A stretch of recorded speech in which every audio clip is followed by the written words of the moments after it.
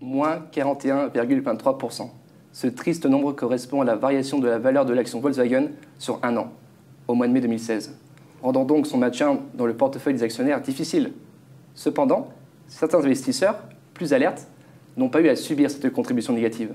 Leur petit secret L'analyse d'informations extra-financières, se basant à la fois sur des critères environnementaux, sociaux et de gouvernance. D'où cette question. Comment les éléments extra-financiers jouent-ils un rôle dans la performance des entreprises ainsi que dans l'investissement des actionnaires Mathilde Guillaume, bonjour. Bonjour. Alors il faut tout d'abord savoir que le législateur a progressivement permis de propulser ce type d'informations au, au, rang de critères pour les actionnaires. D'abord avec la loi dite NRE en 2001, imposant aux actionnaires de publier dans leur rapport de gestion des informations relatives aux conséquences sociales et environnementales de leurs, de leurs activités. Ensuite, avec la loi Grenelle 2 de 2010, imposant cette fois un, troisième pilier sociétal. Et enfin, notamment grâce à la capacité de la France, de, de sa capacité d'entraînement en Europe en la matière, une nouvelle directive en 2017 permettant de passer un reporting RSE à une déclaration plus proactive, sur mesure, de performance extra-financière.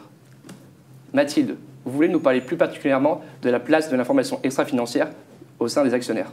En effet, ce phénomène n'est clairement pas nouveau, mais le fort engouement est récent du fait de l'impact de l'évolution juridique et de l'actualité, comme vous nous en avez parlé. Mais ce n'est pas un phénomène de mode ou un critère temporaire. Ce, critère va devenir un véritable, enfin, l'information extra-financière va devenir un véritable critère pour nos actionnaires.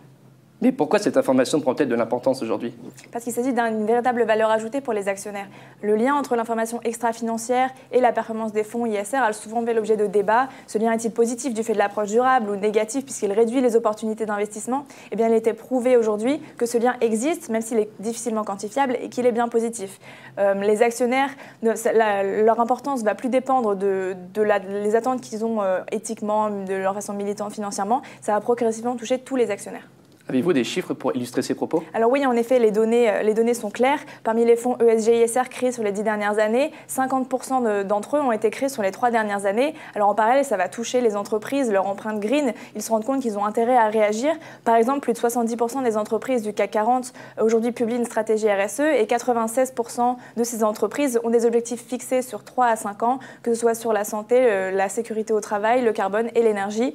De nombreuses méthodes pour communiquer ces informations de la façon la plus transparentes possibles sont mises en place par ces entreprises, même si euh, la nature est toujours expérimentale.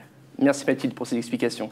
Guillaume, pouvez-vous maintenant nous expliquer concrètement comment un émetteur du CAC 40 gère ces informations extra-financières et quelles sont les meilleures pratiques? Bien sûr, Antoine. Alors tout d'abord, il faut identifier les enjeux pertinents, les enjeux RSE pertinents et probants de l'activité de l'entreprise. Alors un bon exemple est l'analyse de matérialité. En pratique, les sociétés indiquent sur un axe les enjeux importants pour les parties prenantes et sur un autre axe les enjeux importants pour la société elle-même. Cet outil euh, permet d'établir ou de reformuler une stratégie RSE porteuse de sens et mieux intégrée. Comment traite-t-on ensuite l'information extra-financière au sein des entreprises? Alors on constate une intégration croissante des sujets de RSE au sein de la gouvernance. En 2016, près de trois quarts des sociétés du CAC 40 se sont dotées d'un comité du conseil ad hoc composé d'administrateurs traitant expressément de sujets extra-financiers.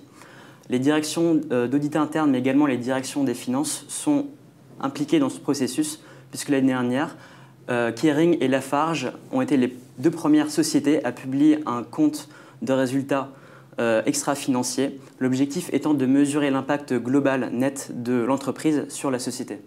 Quels sont alors les canaux de communication pour ces données extra-financières? Alors l'information RSE, Antoine, est généralement répartie dans plusieurs documents supports. En 2016, 13 sociétés du SBS 120, contre aucune en 2013, ont publié un rapport intégré, qui est la solution de communication préconisée par de nombreuses organisations. Euh, plus lisible et rattaché au business, cet outil permet de valoriser la RSE et l'ensemble des actifs de, de l'entreprise et dans sa création de valeur. Merci Guillaume. Vous l'avez donc compris, la place de l'information extra-financière auprès des actionnaires, représente un double enjeu. D'abord, il s'agit d'améliorer la gouvernance d'entreprise pour ainsi éviter des scandales comme celui de Volkswagen de se reproduire.